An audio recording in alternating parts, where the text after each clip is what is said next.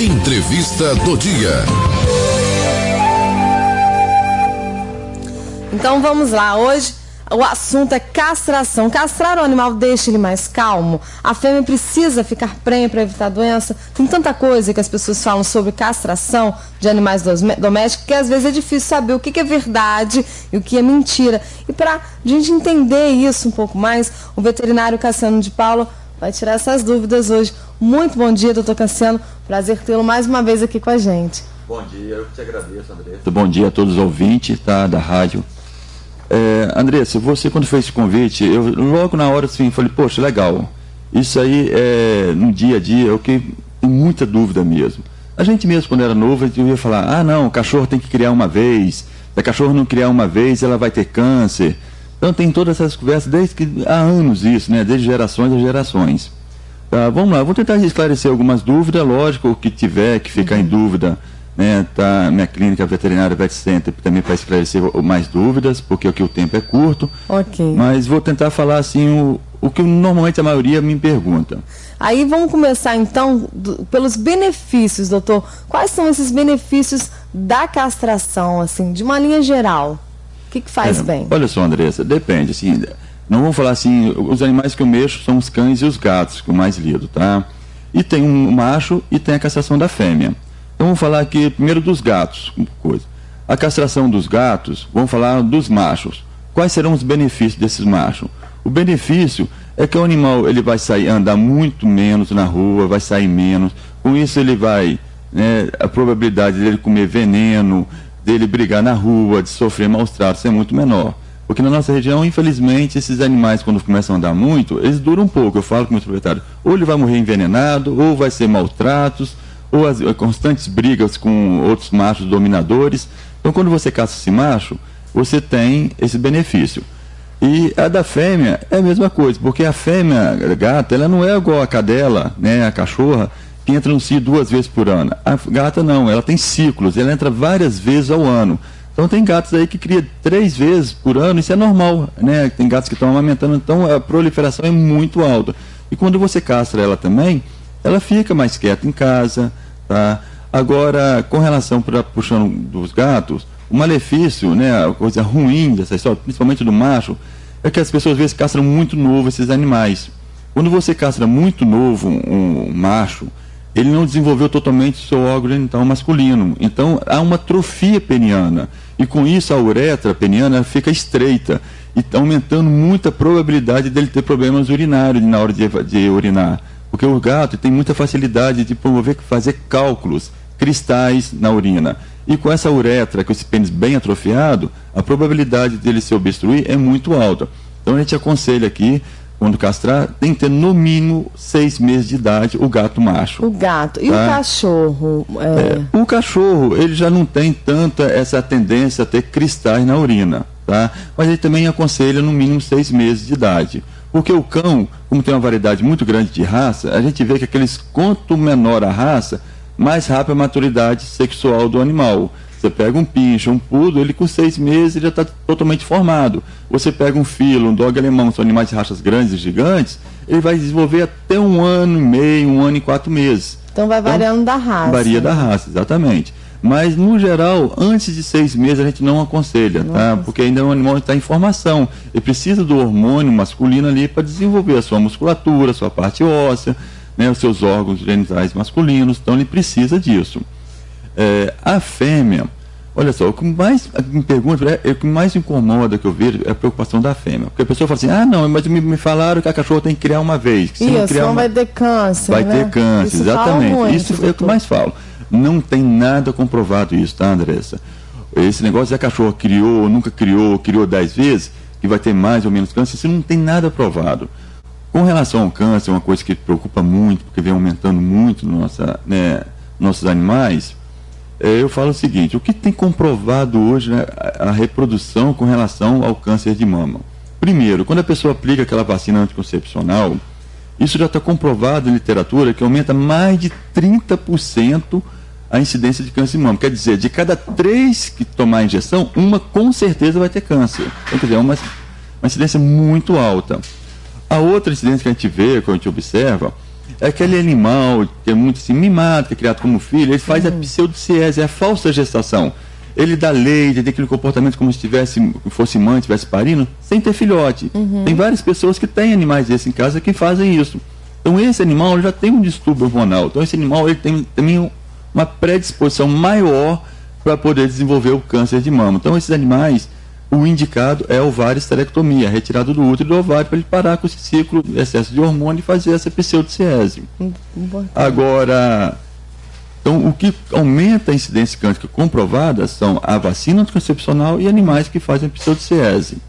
Agora, saiu um trabalho há uns três anos atrás nos Estados Unidos. Os Estados Unidos é o país que tem o menor índice de câncer de mama, não chega nem a 1% das cadelas. Porque lá eles têm um programa muito rigoroso em relação à castração. Então saiu um, um trabalho falando o seguinte: cadelas fêmeas, né, as cadelas que são castradas, são feitas ovário esterectomia antes do primeiro cio, diminui mais de 99% a chance dela vir desenvolver câncer de mama. Cadela que aí vai falando, aí tem lá, cadela que você caça entre o primeiro e o segundo cio, você já diminui mais de 94% a probabilidade de ter câncer de mama. Aí depois tem cadela que você caça entre o segundo e o terceiro cio. É uhum. É para cair para 82%. E assim vai. Então tem toda uma tabela. Tem né? toda, foi divulgado isso nos Estados Unidos. Uhum. Então hoje a gente está batendo muito em cima da castração. É importante para esse controle populacional e para a prevenção de doenças. Né? Perfeito. Isso aí, pelo contrário, a pessoa às vezes acha assim, ah, vai castrar, vai dar câncer, tem que criar uma vez. Pelo contrário, hoje está provando exatamente o contrário. Uhum. Diminui e muito, tá? Diminui. E fora, igual você falou, a população de animais, né? Todo então é muito problema. interessante. E é... o primeiro cio da cadeia, só te cortando um pouquinho, uhum. Andressa. O primeiro cio também depende da idade do, do animal e da raça. Então, animais, igual eu te falei, de raças maiores, menores, eles né? vão amadurecer mais rápido. Então, uhum. por volta de 6, 7 meses, eles vão dar o primeiro cio. E animais maiores, próximo de 10, 1 ano. E então, em média de fica seis... mais difícil, a gente sabe. Mais difícil, também, exatamente. Né? Você vai ver o porte do seu animal. Uhum. Então, em torno de 6 a 10 meses é a média do primeiro cio. Depois que deu o primeiro cio, a cada 6 meses ele dá o cio. Uhum. Então, eu aconselho assim, a pessoa que tem intenção, não tem intenção de botar o animal na reprodução, de retirar filhote, a partir dos seis meses, quanto antes castrar esse animal, só tem benefício. Só tem benefício. A, a gente abriu aí para as perguntas no Face. A Michele Mendonça, ela fez um comentário. Seria muito bom que o doutor falasse a respeito por que, que os animais ficam ligados após cruzarem. Muitas pessoas acham que ficam assim porque querem a, a, e acabam sentando pau, jogando água, batendo os animais. Não sabem que isso é um processo. Ela isso. quer esses animais de rua, porque, né? Que a gente né? vê isso. Olha só, Andressa o animal, você vê, ele assim, a, na base do pênis dele tem uma glândula que a gente chama de bulbo peniano. Ele é como, você acha que até que é o testículo do animal ali, não é. Quando ele fica excitado, aquilo incha mesmo. Então, quando ele há penetração no órgão genital feminino, aquele bulbo dilata e ele fica engatado. E pra, isso é para ver a ejaculação. O animal só consegue ejacular na hora que esse bulbo dilata. Se o animal cruzou, teve a penetração e saiu, ele não ejaculou na fêmea. Então ele introduz o pênis, há aquela dilatação do bulbo por um certo período, e nisso ele está ejaculando, depois o bulbo vai voltar ao normal, ele vai desengatar. Então uhum. não, não, tem esse negócio de ficar puxa o animal para lá, puxa para cá. água. É, a água às vezes quando joga ali, gelada ali, porque ser gelada e como está muito vascularizada, ela vai fazer a vasoconstrução, o bulbo vai diminuir e automaticamente vai soltar. Mas isso é uma covardia, porque ali é um órgão genital, tanto masculino e feminino, que são órgãos muito sensíveis, que estão ali sofrendo uma pressão muito grande com isso. Uhum. Então, o ideal mesmo é deixar o animal mais calmo possível, ele vai passar aquela fase, vai voltar ao bulbo normal e vai ter. Vai retirar. É, retirada. A Andressa Gomes Gonçalves, ela pergunta qual é a idade correta para um macho vira-lata castrar. Aí que o senhor disse que vai depender, o vira-lata é difícil saber. É, mas né? o macho, eu aconselho assim, vocês já vão acompanhando em torno de seis, sete meses, é uma idade boa. Tá? É uma idade que eu assim, aconselho, porque o animal já não pegou. Porque também quando a gente caça um animal muito velho, Andressa, o animal já pegou aquelas manias de fugir atrás, sempre estar condicionado, de ficar marcando o território, porque o incômodo do macho é quando ele chega perto de um ano, ele começa a marcar território dentro da sua casa. Ele, ele urina no portão, no pneu do carro, na porta, em tudo quanto é lugar para ele marcar território. Vai marcando território. Exatamente. Mesmo. Quando você caça ele com 6, 7 meses, ele não pegou esse hábito. Então ele faz xixi sentadinho e vai continuar a vida toda fazendo xixi dele sentadinho sem levantar a perna, que é um grande benefício, porque o cheiro da urina é muito menor uhum. e ele não fica, ele não vai desenvolver aquele hábito de marcar território. Então, o aconselhado de um um cão macho uhum. é em torno de 6, 7, 8 meses antes que ele desenvolva Então, o cão que não levanta a perna é porque ele foi castrado? Ou nem Olha, sempre? ou é, é, ele é um animal jovem, uhum. né, ou ele é um animal muito submisso. Então, submisso. ele não tem aquele negócio de ficar, tem outro cão ali dominador no território que não deixa, às vezes, ele fazer aquilo porque ele levanta a perna exatamente para marcar território, mostrar ah, que ele é o dono do pedaço. Entendi. Então, se tiver um cão ali que tem um poder muito grande em cima dele, é muito submisso, então não deixa ele fazer isso. Tá? Ou ele é muito jovem, ou ele foi castrado cedo. Castrado cedo, né? É, a a Graciane Tomás também mandou uma perguntinha aí pelo Face. Como que eu faço para castrar meu cão? Ele é novo ainda, não tem nem um ano. Eu posso castrar ou tenho que esperar ele ficar mais velho? Ela não disse a raça, né? É, isso é eu aconselhável Essa é dúvida. Eu acho assim, não, já está chegando no ano, está chegando no limite, porque igual eu falei, uhum. essa idade agora já vai começar, já deve estar tá começando a, a, levantar a perninha, uhum. a querer ficar mais atiçado para ir Mas... para a rua, sentindo o cheiro de fêmeas próximo da casa dele que estão no cio. Então ele começa a pegar essas manias. Então ele está no, limite para castrar. O macho, né? Então é um ano eu falo que é o limite para castrar. É limite. Lógico que qualquer idade pode fazer. Ele vai, ele vai diminuir. Uhum. Né? Ah, eu tenho um animal de. Eu tenho, então eu tenho um cão de 5 anos que ele vive fugindo, então não adianta. Não. Ele tem grande probabilidade de ele ficar mais calmo, diminuir. Mas o ideal mesmo é o animal entre seis meses e um ano, porque ele não está ainda condicionado. Porque quando ele é condicionado, às vezes ele está de 10 anos fugindo atrás de cadela. Você castra ele, a chance de ele continuar fazendo aquilo é grande, porque ele passa 10 anos condicionado a fazer aquilo. Então, uhum. por isso que eu falo, de seis meses, antes de seis meses não, porque ele ainda está em mais maturidade tá sexual, formação, tá, né? formação, e depois de um ano, ele já começa a pegar alguns certos costumes, alguns certos hábitos, vícios. Então, o ideal o cachorro dela, então, está no limite para poder fazer esse procedimento cirúrgico. Aí tem também a Dani Manhães, que ela diz. É se a, castra, essa castração ela pode tra trazer algum dano emocional psicológico para o animal. Ele, tem gente que fala assim, ai, tadinho, não vai ter mais né, essa sensação do prazer também. É, isso, isso é tem a ver, é, essa é, coisa? não, isso é mais a, a mulher, principalmente quando o proprietário é, é, a mulher, né? Ela fala assim, ah, meu animal vai ficar oco, vai ficar vazio, vai ficar sem. Não. Vai virar um eunuco. Isso. A vantagem nossa dos animais é essa. Uhum. Você faz alguns procedimentos né, cirúrgicos e o animal não tem esse psicológico dele. Então, essa é a grande vantagem. Então, a gente observa assim: quando a gente pega um animal jovem, caça ele jovem, ele, pelo contrário, ele sempre ele é alegre, ele continua sendo um jovem. Ele não teve muito aquela maturidade sexual. Por exemplo, você quer que uma cadela, às vezes, pare, ser brincalhona, às vezes você acasala ela, ela seja mãe, aí você vê que é uma mudança de comportamento. Ela parece que tem um pouco mais de maturidade. Então, quando a gente pega um animal jovem, nessa parte que a gente está falando em sete meses, oito meses, e casa, a gente observa que ele sempre é um brincalhão dentro de casa. É um animal, principalmente as gatas. As gatas, quando a gente opera novinha, ela sempre continua aquela mania de brincar como filhote, fica brincando de bolinha, essas coisas. Então não atrapalha em nada no emocional do animal. Não fica bobo, não, né? Não. Isso aí é o que fica bobo. As pessoas dizem assim, ah, meu cachorro vai engordar, meu é gato vai engordar, é. vai ficar bo bobão. Bom. Olha só, isso é muito do hábito alimentar e como é que é o dia a dia do animal.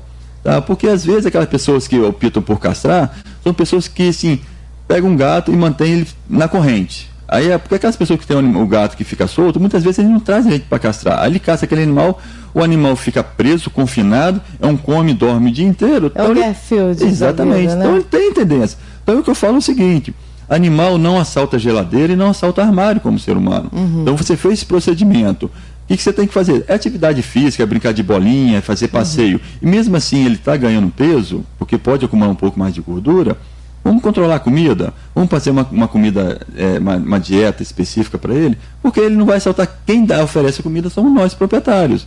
Então não tem essa, ah, vou caçar, ele vai ficar bobão. Uhum. Agora, lógico, você caçou seu animal, ele está preso dentro de casa, e você tá soca comida, comida, é. comida e faz atividade nenhuma, ele vai, vai ficar, ficar, um capaz, vai ficar obeso, extremamente. É, o Tarcísio Oliveira também pergunta, é, o, além do animal não, ter, não poder ter filhotes, o que, que muda no comportamento? Acho que a gente já respondeu. É verdade que fica mais calmo e não sai menos de casa? Ele tem gato, Tarcísio Oliveira. Isso. Sai sim, Tarcísio, olha só. É, igual eu falei no início, o macho, né, ele vai sair menos. Agora não adianta você pegar um macho já errado, igual eu falei assim, um macho que já tem 4, 5, 6 anos, que sai toda noite para a rua, e você castrar, achar que no dia seguinte vai ele vai estar tá quietinho. Então tem pessoas que brincar, ó oh, doutor, você não castrou meu gato, hein? Eu falei, olha aí atrás, se não tiver alguma coisa aí, eu, eu te devolvo o dinheiro. Mas castra, porque o animal ele desenvolve aquele hábito de passear, ele fica. Então, tem uns que fica a vida toda e continua passeando, mas tem aqueles que castrou, ele ainda tem um hormônio ali circulando. Então ele tem desejo sexual, ele ainda acha que é, não, é o, é o bambambam, bam, bam, e ele sai para poder fazer os passeios. Mas à medida que vai passando os dias, os meses, vai diminuindo aquele hormônio, vai diminuindo o libido sexual dele. Então ele vai acalmando. Por isso que eu volto a falar. Castre antes de um ano, de seis meses é a idade ideal, porque o animal não pegou esses vícios, esses costumes, não tem esses hábitos.